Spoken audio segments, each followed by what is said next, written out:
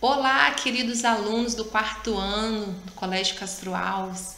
Que saudade que nós estamos de estar numa sala de aula junto com vocês. Mas enquanto ainda não é possível, então nós vamos continuar com as nossas videoaulas e André, tia Andresa está aqui hoje para explicar para vocês as atividades de matemática desta semana. Então, por favor, peguem lá o, o livro de vocês, material didático de vocês, a apostila. Quem ainda não está com material, dá uma pausazinha aí no vídeo. Vai lá buscar a apostila, o volume 2, e abram na página 11, ok? Então, hoje nós vamos fazer as páginas 11 a 14. Tia Andresa vai explicar as páginas 11 a 14.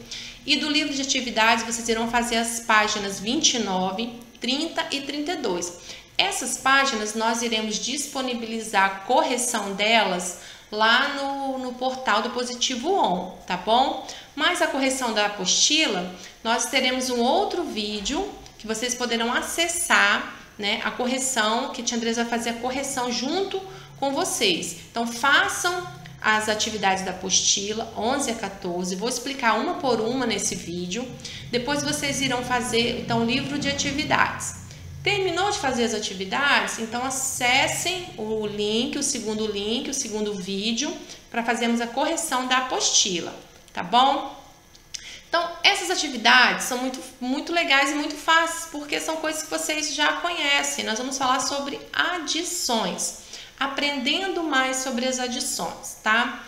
É, eu sei que vocês sabem, né, que adição é a continha de somar, que eu vou pegar um número, vou juntar com outro, eu vou obter um resultado, não é isso? Exatamente isso. Só que as adições, elas são formadas por parcelas e nós iremos aprender hoje o que são as parcelas e o que, que é a soma. Então, nós vamos aprender que Aqueles algarismos, aqueles números que a gente soma, nós chamamos eles de parcelas. E o resultado né, dessas adições nós chamamos de soma. Então vamos lá. Dentro do quadrinho de vocês aí na apostila, vocês encontrarão esta adição. 13.058 mais 235. Tá vendo que elas estão de verdinho?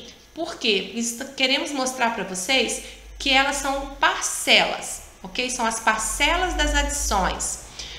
O que está de laranjinha, o resultado 13.293, é a soma, ou seja, é o resultado dessa adição, ok? Tia Andresa, e se eu colocar um número em cima e o outro número embaixo? Não tem problema, também a mesma coisa. Os números que nós estamos fazendo adição, né, são as parcelas. O resultado dessas adições nós chamamos de soma. Então, tia Andresa vai trazer um outro exemplo para vocês. E o que eu gostaria que vocês percebessem é que durante todas as atividades é, que a tia Andresa vai estar explicando, as parcelas vão estar sempre na cor verde, tá? E uh, o resultado, a soma, vai estar sempre na cor laranja. Combinado? Então vamos lá. Olha o exemplo que a tia Andresa trouxe. 12.234, primeira parcela, mais 1.355, segunda parcela. Então, eu irei somar e terei o resultado, 13.589.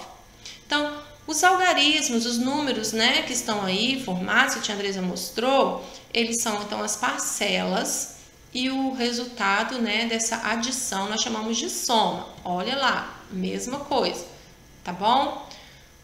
Vamos lá.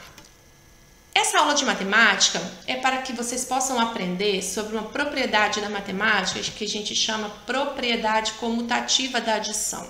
O que é a propriedade comutativa da adição? Como uma adição ela é formada de parcelas e o resultado dessa adição nós chamamos de soma, então nós ao falarmos sobre a propriedade comutativa, nós estamos dizendo que não importa a ordem das parcelas. A ordem das parcelas na soma não irá alterar o resultado. Então, quando nós fazemos uma adição, nós vamos ter lá as parcelas, certo? Com as parcelas, a, a, adição dessas parcelas, eu vou juntar né, essas parcelas, eu vou ter o resultado que é a soma. Então, se eu trocar as parcelas de lugar, o resultado não terá diferença, a não ser que ao montar a minha continha, ao montar a minha adição, eu não coloque unidade debaixo de unidade, dezena debaixo de dezena, centena debaixo de centena. Se eu fizer isso, a minha continha vai dar errada. Então nós temos sempre que lembrar que nós temos que obedecer às ordens na matemática, tá bom? Então olha o exemplo que a tia Andresa trouxe. Vou pegar o mesmo algarismo, tá? Os mesmos números lá de trás. 12.234, primeira parcela, mais 1.355, segunda parcela, o resultado de 13.589, a soma de 13.589. Agora eu vou inverter, vou colocar 1.355 primeiro e aí eu vou somar mais 12.234. O resultado mudou? Não mudou, o resultado é o mesmo 13.589. Por que isso, tia Andresa? Porque a propriedade comutativa da adição, ao inverter a ordem das parcelas, o resultado não muda, tá? Então, lembra quando na sala de aula vocês falam assim: Tia Andresa, tia Alessandra, tia Dila, qual número eu coloco primeiro? Eu coloco 12.234 ou 1.355? Aí eu costumo dizer para os meus alunos, a ordem dos fatores não altera o produto, ou seja, a ordem das parcelas não altera a soma. Então não tem problema, desde que vocês obedeçam sempre a regrinha das ordens. Unidade debaixo de unidade, dezena debaixo de dezena, centena debaixo de centena, unidade de milhar debaixo de unidade de milhar. Aí não tem erro, tá? Obedeceu as ordens, o resultado vai ser sempre o mesmo, tá bom? Então, olha só, no primeiro exercício, vocês vão precisar de uma calculadora e de lápis de cor. Ah, muito fácil, né? Fazer adição com a calculadora.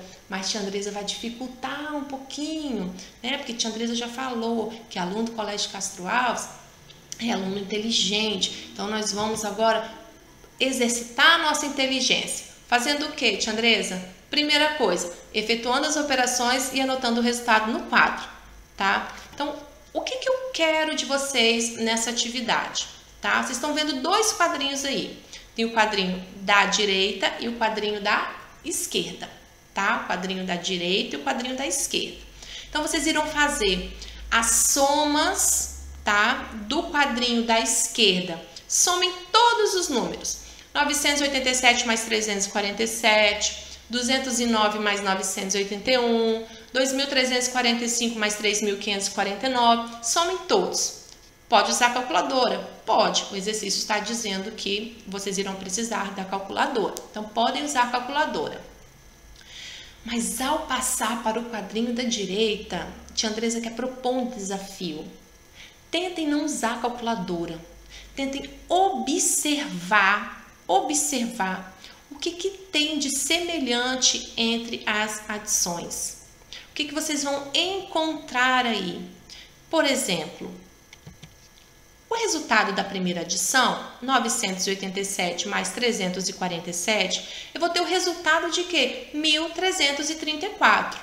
Ok, agora eu vou olhar lá para o quadrinho da direita. Hum, deixa eu ver se tem alguma coisa parecida, deixa eu ver se tem uma coisa igual aqui. Encontrei encontrei uma semelhança. Olha só, o primeiro quadrinho do lado esquerdo traz 987 mais 347. Olha lá o último quadrinho do lado direito. O que, é que nós temos lá? O que, é que nós encontramos lá? Ah, não acredito. 347 mais 987. O que, é que aconteceu aqui, gente? Ó, alterou as ordens, as parcelas, elas foram alteradas. Primeiro estava 987 e a segunda estava 347. O que, que aconteceu lá no outro quadrinho? Mudou, passou 347 para frente e 987 para o final, por último. O resultado vai ser o mesmo? Vai ser o mesmo. Então façam isso, tá? Tentem não usar a calculadora no segundo quadrinho. Tentem identificar as adições que são similares, elas só mudaram o que? A ordem das parcelas. As ordens das parcelas foram alteradas aí.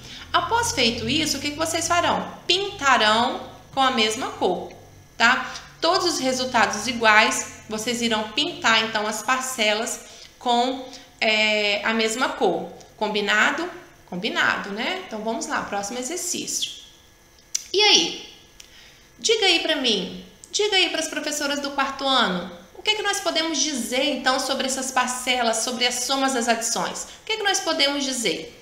Segue lendo a apostila de vocês, que vocês encontrarão uma explicação bem legal. Na sessão lápis na mão, o que, que vocês terão que fazer? Nas questões A, B e C, vocês vão escrever C para as adições que são comutativas e NC para as adições que não são comutativas. Então, eu trouxe o primeiro exemplo aí.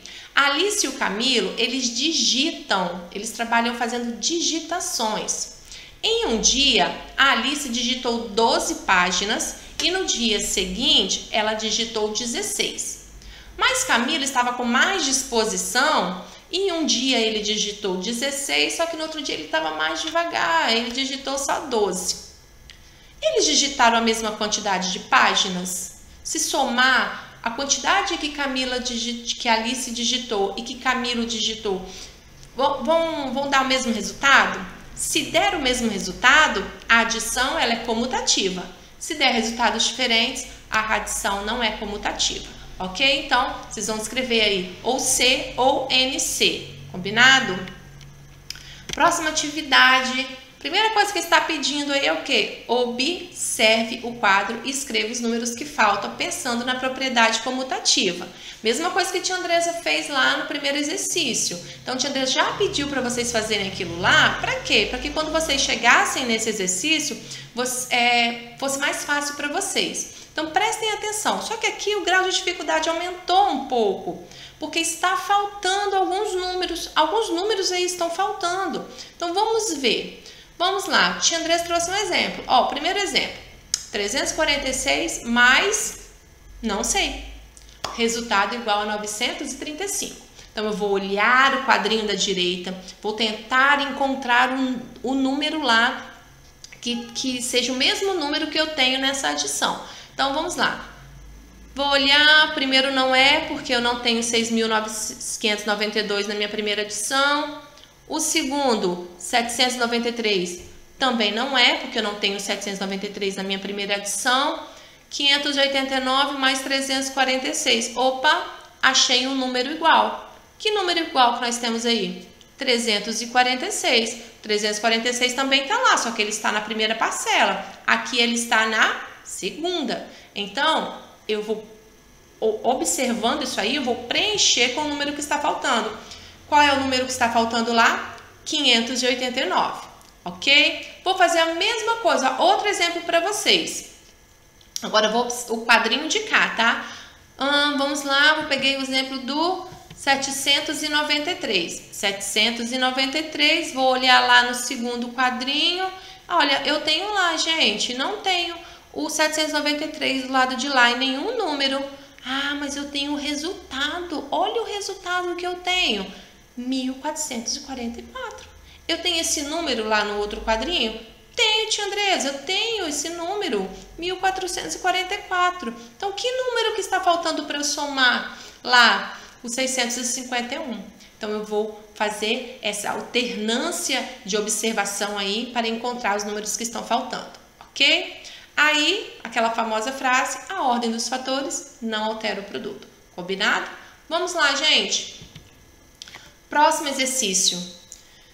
Talvez esse exercício aqui vocês tenham um pouquinho mais de dificuldade porque ele pede para vocês fazerem o cálculo mental, tá? Então, é, como eu venho sempre dizendo, deu dúvida, não conseguiu aprender através das explicações, anota na sua apostila que na volta às aulas nós iremos esclarecer todas as dúvidas, tá?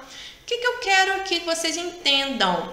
Que para eu fazer o cálculo mental, fica mais fácil se eu obter dezenas, centenas e milhares é, exatos. O que, que são, o que, que é isso, Andrés? O que, que são essas dezenas exatas? Então vamos lá. Dezenas exatas: 10, 20, 30, 40, 50 e assim vai até o 90, né? Porque se eu chegar a 100, eu já vou ter o quê? Centena. Então, então o que, que são centenas exatas? 100, 200, 300, 400, 500 e assim até o 900. Porque quando eu chego em mil, eu tenho unidades de milhares exatos, eu tenho milhares exatos, então eu tenho mil, dois mil, três mil, quatro mil, ok? Então, para esse exercício, nós vamos treinar as nossas habilidades com cálculo mental para dezenas exatas, ok? Então, esse primeiro quadrinho aí, eu transformei ele, coloquei ele mais embaixo, um pouquinho maior, tá? Então, vamos lá. Eu tenho uma sequência de adições. 33, mais 18, mais 17, mais 5, mais 22, mais 35, tá? Então, o que, que nós vamos fazer? Primeira coisa que nós iremos fazer é pegar o primeiro número dessa sequência, que é o número 33, tá? 33. Tem o número 33. O que, que nós vamos pensar agora? Colocar a nossa mentezinha para trabalhar. Qual é a, a, a dezena exata qual é a dezena exata que é, eu tenho mais próximo da minha adição. O que, que é adição? Né? Vou adicionar. Se fosse da subtração, eu iria tirar. Da adição, eu vou somar, né? Vou adicionar. Então, eu tenho o número 33. Qual é o número que está na unidade? É o número 3. Eu tenho o número 3 na unidade. Então, eu vou olhar para os outros números e vou tentar encontrar um outro número que tenha na unidade que eu possa arredondar minha dezena. Ao fazer isso, o que, que eu penso? Eu tenho 3.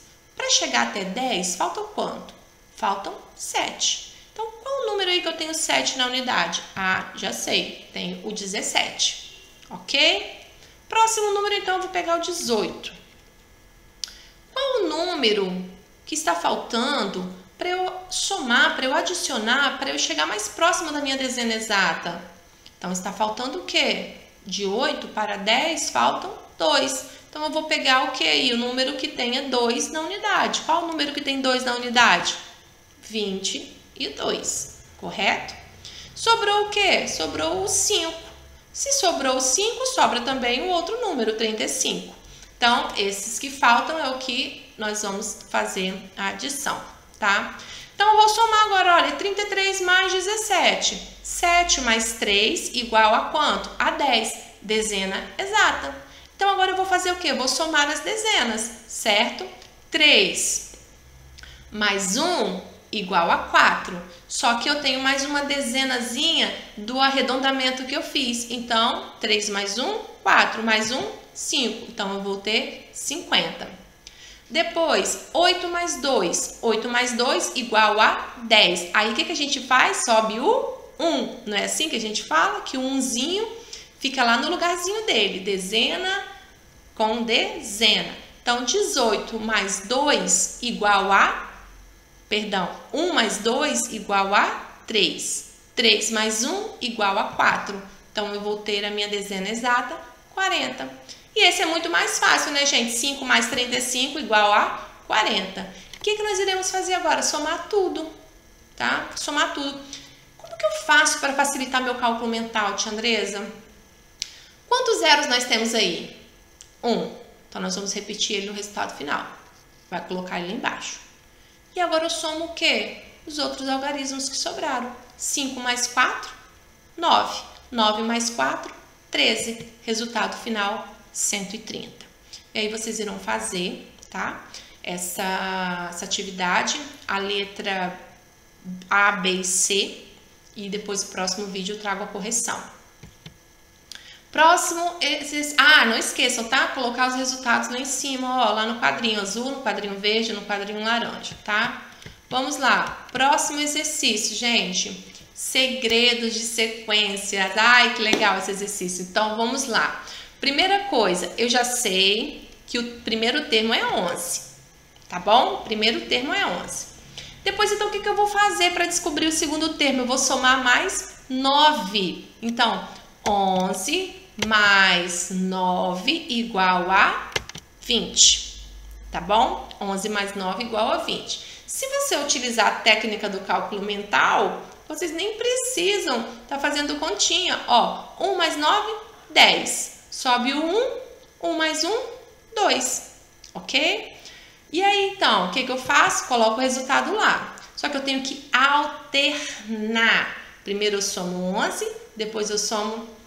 Perdão, primeiro eu somo 9, depois eu somo 11. Então, eu vou alternar, tá bom? Agora eu tenho 20, então eu vou somar mais 11. E aí, somando 20 mais 11, eu vou encontrar o resultado de 31. Eu vou colocar 31 lá naquele quadrinho lá, tá vendo? Lá no lugarzinho dele. Para os próximos números, vocês irão fazer a mesma coisa, só que vocês vão alternar. Agora eu vou somar 9, depois eu somo 11, depois eu somo 9, depois eu somo 11. E aí vocês vão observando que a sequência ela vai ter um padrão. E qual é o padrão? Qual é a característica que vocês irão notar, que vocês vão notar ao fim dessa sequência? Então eu já posso dizer uma, que eu já só de olhar para esse número 11, 20 e 1 e 31, eu já percebo que que os números da unidade, eles estão alternando também, né? Só que tem um outro segredo que aí eu quero ver se vocês descobrem, tá? Se vocês descobrirem, vocês também podem anotar aí que lá no vídeo da correção, Tia Andresa vai trazer outro segredo. Então, não se esqueçam, essa atividade é muito fácil, muito tranquila, só alternar as somas, combinado? Próxima atividade, gente, sequência de Fibonacci. Ai, que legal a sequência de Fibonacci. A sequência de Fibonacci foi uma sequência desenvolvida por um matemático italiano que ele estava estudando né, é, é, é, os coelhos, ele estava estudando o, o nascimento do, dos coelhos, né? E aí, é, como os, os papais coelhos eles têm muito, muitos filhotes, então o Fibonacci ele estava estudando esses, esses coelhinhos e aí então ele desenvolveu uma sequência tá? Então essa letra C, nós vamos descobrir, nós vamos aprender sobre a sequência de Fibonacci. A sequência de Fibonacci, ela tem um padrão, tá? Qual é o padrão dessa sequência? Os dois primeiros números serão sempre um. Serão sempre um. E aí, o que, que acontece com o próximo? Eu somo, tá? 1 mais 1 igual a 2. Então, eu vou sempre somar o número seguinte com o número anterior. Então, eu vou lá colocar 2. Então, qual vai ser o próximo número? Eu vou pegar o terceiro número da minha sequência e vou somar com o segundo. Qual é o terceiro? 2. Qual é o segundo? 1. Um. Então, eu vou somar 2 mais 1 um igual a 3. Para eu achar o quarto número, eu vou fazer o quê? Vou somar. 3 mais 2 igual a 5. Então, eu peguei lá ó, o número 3, que está lá na, no quarto quadradinho, e somei mais 2, que estava lá no terceiro quadradinho. Então, eu vou sempre somando um com o outro e eu vou encontrando. Então, o que, que eu vou fazer agora para descobrir o próximo número? Eu vou somar 5 mais 3 e vou encontrar o resultado tá? Para encontrar o outro número, o que, que, eu, vou, o que, que eu terei que fazer? O que, que vocês terão que fazer? Somar o resultado de 5 mais 3 com 5, tá? Então, é sempre assim, vocês vão pegar o número, o, o último número, somar com o penúltimo. Pega o último, soma com o penúltimo. E aí vocês encontrarão é, a sequência de Fibonacci. E no próximo vídeo de correção, Tia Andresa vai trazer coisas muito legais sobre a sequência de Fibonacci. Não deixem de assistir, gente. Tá muito legal. Tia Andresa trouxe é, informações novas sobre essa sequência. Por quê? Porque ao desenvolver a sequência de Fibonacci, ele também desenvolveu a, a espiral, que eu vou mostrar para vocês daqui a pouco, tá? Então, no próximo exercício, o que, que vocês terão que fazer? Vocês terão que descobrir o século que Fibonacci nasceu e morreu. Nós estudamos isso lá na sala de aula ainda, né? Nos primeiros conteúdos. Então, eu vou explicar aqui rapidinho para recapitular como é que a gente calcula século, tá bom? Se o número não terminou com 00, o que, que a gente faz? A gente corta os dois últimos números e soma 1. Então, eu peguei um ano aleatório aí, 1492. Então, eu vou pegar 1492 e vou cortar o número 92. Que número que sobrou? Número 14. Então, eu vou pegar 14 e vou somar mais 1. Então, 14 mais 1 igual a 15. Século 15. Então, então, se eu fosse, se esse tivesse sido o ano que Fibonacci nasceu, seria o século XV, mas não foi. O ano que ele nasceu foi mil, 1170 e o ano que ele morreu, 1250, tá bom? Então, vocês vão tentar achar aí o século que ele nasceu e que ele morreu. Na, no próximo pontinho, na próxima atividade, vocês vão fazer, vocês vão ah, descobrir quantos anos ele viveu, tá? Então aí vocês vão usar também o aprendizado que vocês já adquiriram lá no começo do ano para encontrar a data. Só uma dica: para encontrar é, é, esses números, nós fazemos uma continha de subtração, tá bom? Então vamos lá para o próximo exercício que é uma explicação rápida sobre esse espiral de, de Fibonacci. E eu gostaria que vocês observassem aí então esse quadrado, tá bom? Esse, esse retângulo, perdão, que ele tem uma espiral dentro, que é conhecida como a espiral de Fibonacci. Lembra lá na sequência que a tia Andresa falou que sempre começa com 1 e 1. Depois soma o número com o número anterior. Então, eu vou somar 2 mais 1 igual a 3. Então, observem lá, o quadradinho branco representa o 1, o quadradinho é, rosinha representa o 2, e aí eu somei 2 mais 1, 3, quadradinho verde, 3. E aí eu vou somar agora, quadradinho verde com o quadradinho rosa, 3 mais 2 igual a 5, né? E aí eu não vou continuar, porque se eu continuar, vocês descobrirão o resto da sequência lá da atividade da letra C. Mas se vocês observarem por aí, indo fazendo essas somas do, dos quadradinhos, né, das linhas que vocês têm aí dentro, vocês descobrirão então a sequência de Fibonacci, tá bom? Para o exercício número 5, vocês irão criar uma sequência com números entre 20 e 30. Então, eu gostaria que vocês fizessem o seguinte: criem a sequência de vocês, monte um segredo, mostre para um adulto, para um familiar, e aí então é, dê para eles para ver se eles conseguem descobrir qual foi essa sequência que vocês montaram, tá bom? Depois vocês explicam para ele qual foi essa sequência, tá joia? Então, vamos ficando por aqui. Um grande beijo. Até o próximo vídeo de correção.